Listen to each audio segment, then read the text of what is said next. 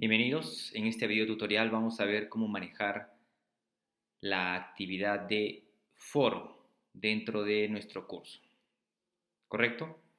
Entonces vamos primeramente a dar una descripción de lo que es un foro. Un foro es una actividad donde el estudiante no solamente eh, revisa la información, sino también puede interactuar con el profesor o con otros estudiantes alrededor de un tema. ¿Listo? Es muy parecido a los foros que uno puede encontrar en Internet para participar sobre un determinado eh, tema o aspecto de interés y obviamente sigue un hilo de conversaciones que justamente sirve para poder informarse sobre algo. Entonces vamos a agregar nuestra actividad tipo foro. Vamos a irnos primeramente a activar la edición de nuestro curso.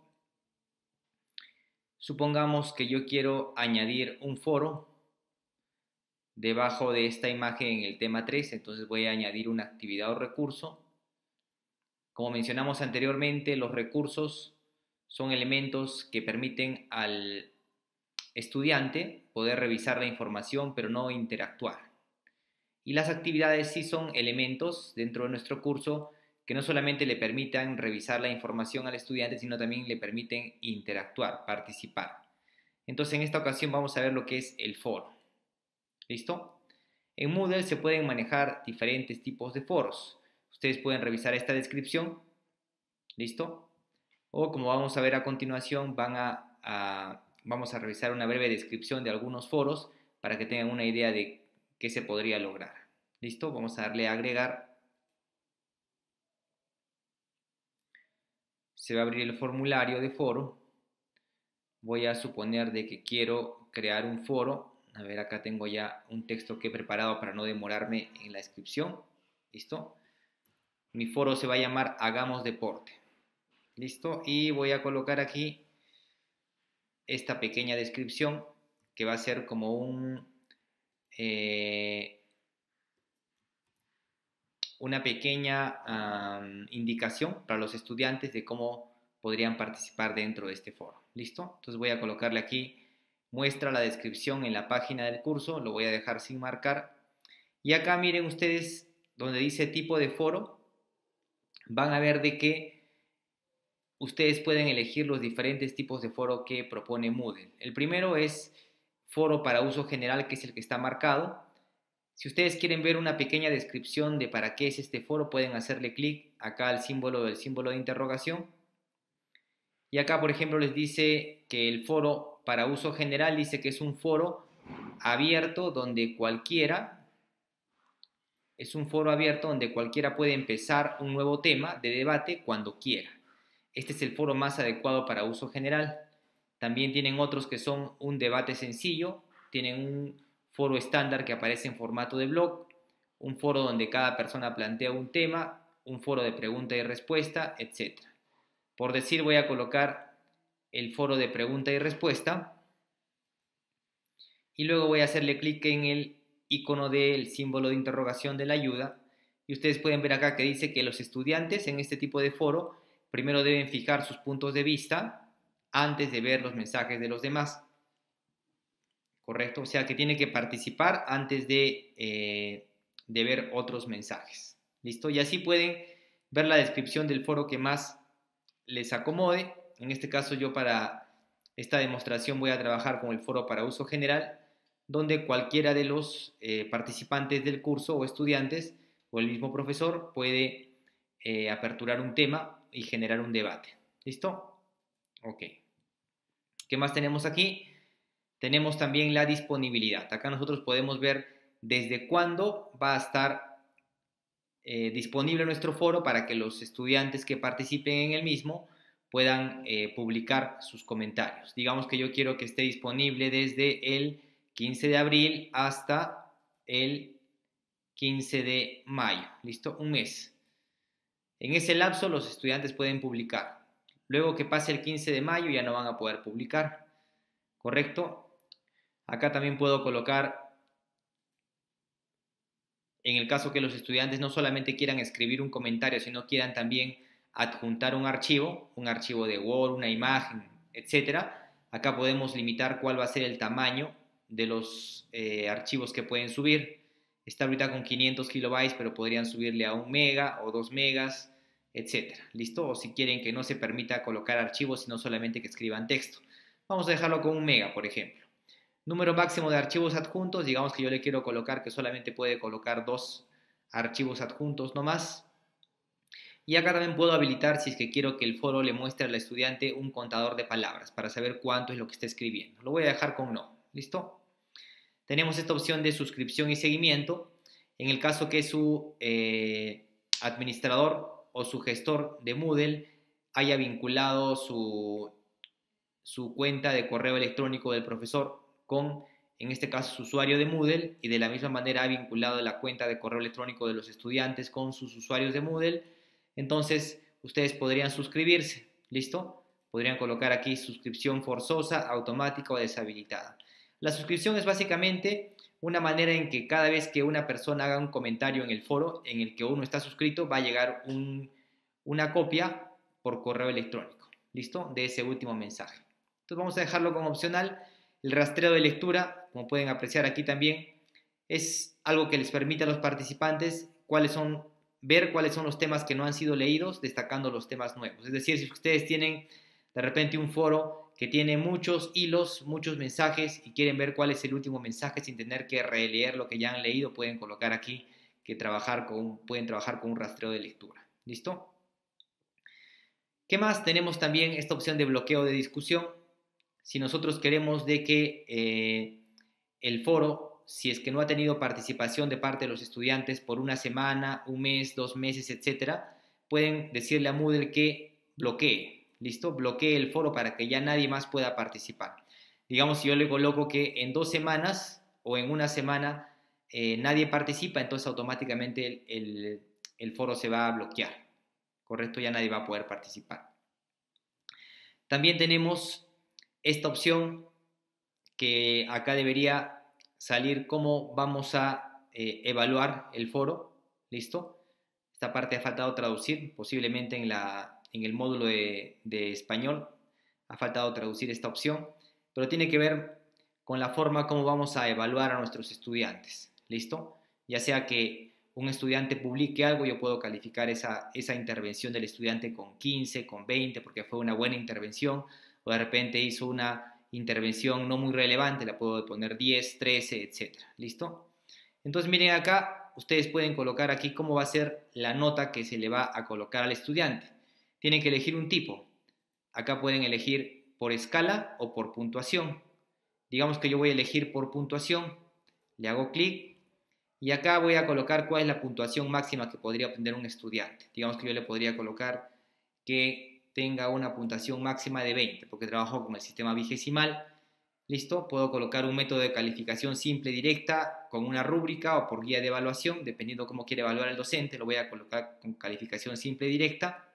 También puedo categorizar o sin categorizar la calificación que le voy a dar y puedo colocar aquí la calificación mínima para probar. Digamos, puedo colocar que esa calificación sea de 13. ¿Listo? La calificación mínima para probar es 13. Muy bien. Entonces, ya he configurado la parte de cómo se puede evaluar las participaciones de los estudiantes. También puedo eh, colocar restricciones de acceso, ¿listo? Esto lo podemos ver en otro video tutorial para ver cuáles son las opciones avanzadas de foro. En este caso no es necesario profundizar en el tema. Y bueno, vamos a dejarlo allí por ser las opciones que más se utilizan en el tema de la creación de foros. ¿Listo? Y vamos a guardar cambios y regresar al curso. Entonces pueden ver ustedes de acá debajo de la imagen de la casa ya se creó el foro. ¿Listo? Si le hacemos clic, vamos a entrar a esta pantalla, ¿correcto? Donde, en este caso, yo podría añadir una nueva pregunta, por decir, puedo colocar aquí, vamos a crear un nuevo tema y mi tema va a ser deportes a campo abierto. ¿Listo? Y voy a decir a los, estudiantes, indiquen cuál es su deporte a campo abierto favorito. ¿Listo? Nada más. Y voy a darle aquí en enviar al foro.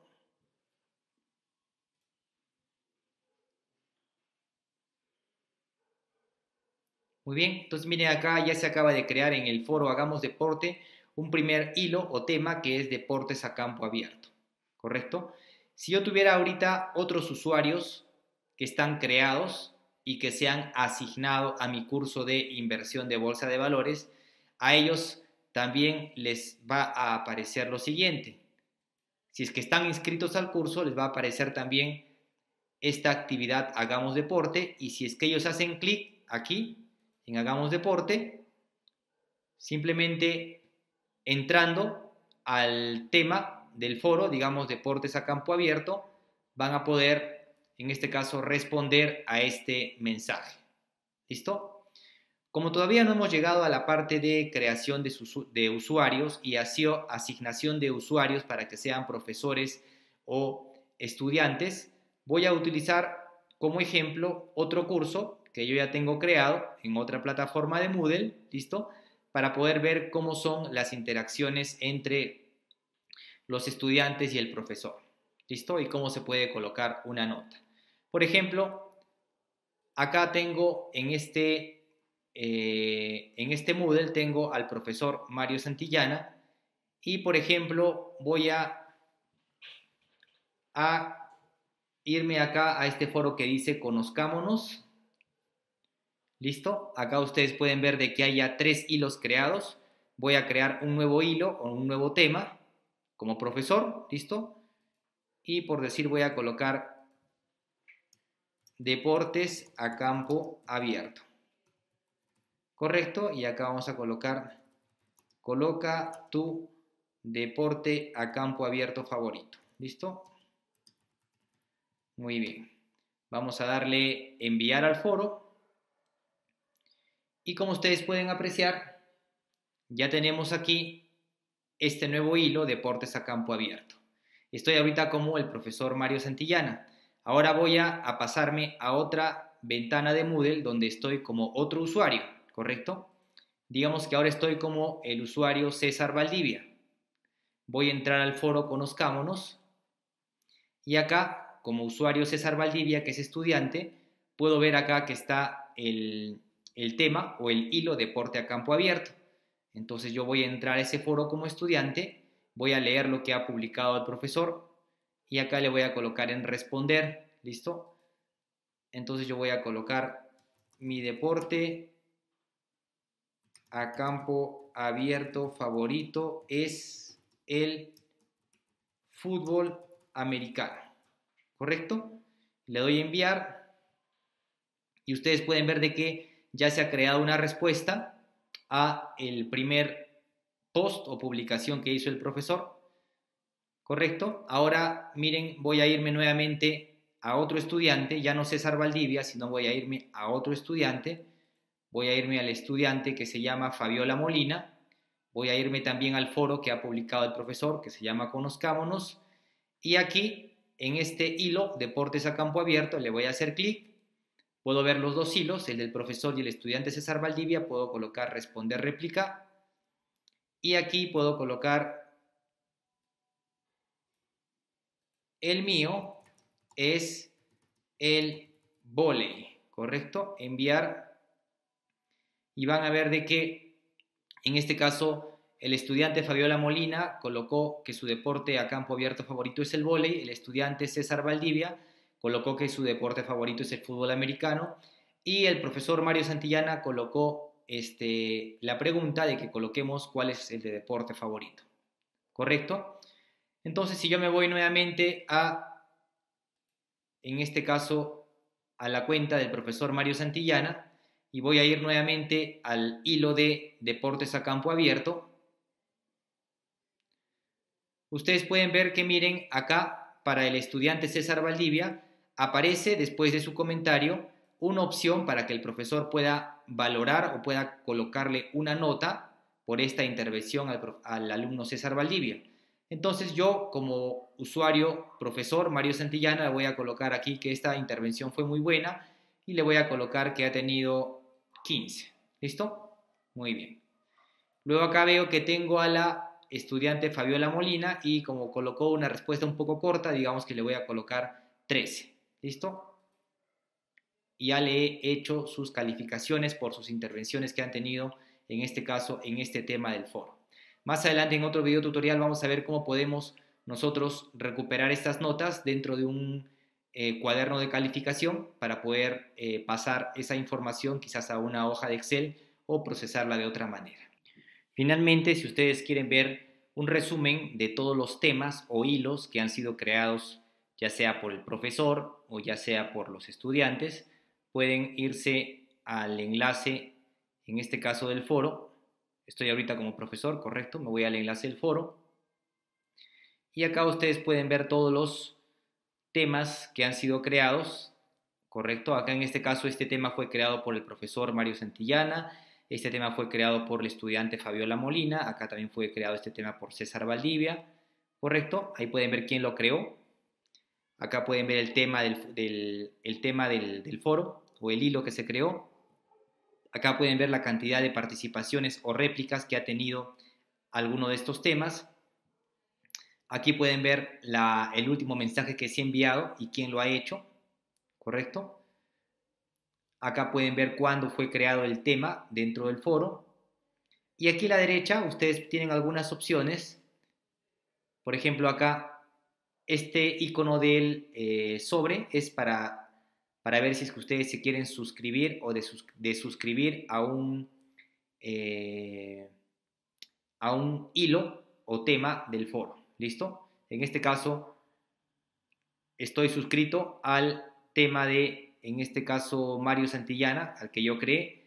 El tema de Fabiola Molina no estoy suscrito porque el sobre está abierto. Si quisiera suscribirme, le hago clic acá y ya estaría suscrito. Correcto, si quiero desuscribirme, le vuelvo a hacer clic y me desuscribo a ese tema como profesor. Y también ustedes tienen estos puntitos, correcto, que si le hacen clic, tienen estas opciones. Acá pueden ustedes quitar la fijación de esta discusión. La fijación de esta discusión no es más que colocar este icono que tiene como un pin al lado del tema de la discusión. ¿Esto para qué sirve? Sirve para que yo pueda diferenciar cuáles son los temas, ¿correcto? O las discusiones que son más importantes y para que me los coloque en primer lugar, ¿correcto? Vamos a suponer de que esta eh, discusión o tema, reunión familiar, yo le voy a quitar la fijación de esta discusión para que desaparezca este icono, ¿listo? Le quito la fijación y miren, ya no aparece, ¿correcto? Y ahora este deportes a campo abierto le voy a colocar una fijación Y miren que automáticamente Deportes a campo abierto de estar en la última posición lo ha colocado en las primeras posiciones porque le ha aumentado la importancia, ¿correcto?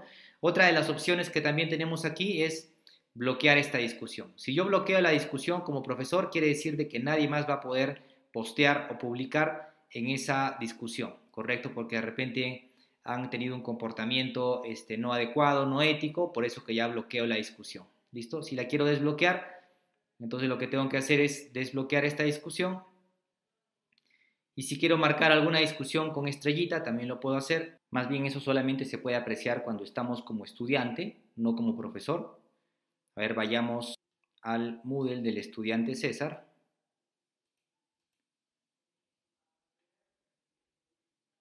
¿Listo? Vamos a marcar con una estrella esta discusión y miren ya marca con estrella la discusión y automáticamente la coloca más arriba. Le podemos quitar la estrella si gustamos. Le quitamos la estrella y nuevamente regresa a su posición anterior. ¿Correcto? Entonces podemos agregar estrella o colocar un pin o podemos también, como profesores, podemos bloquear también una discusión o un tema.